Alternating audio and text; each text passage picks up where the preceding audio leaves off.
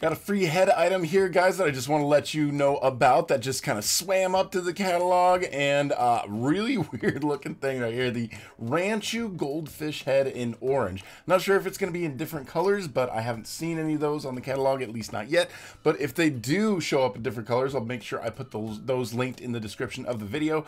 Uh, the face is just kind of weird looking. Uh, if we try it on, you'll see here, it, it almost looks sort of like it's my brain. There we go. It's, uh, it's in there somewhere, but it, it almost looks like it's just my brain sitting there when I'm wearing other hats and things. But it's a free item that you saw. I just got it there for free. got it owned in my inventory. Hopefully it will remain free for a really long time. Some of these end up costing Robux. Sometimes it's pretty quick after I release my video. So hopefully you guys have your notifications on.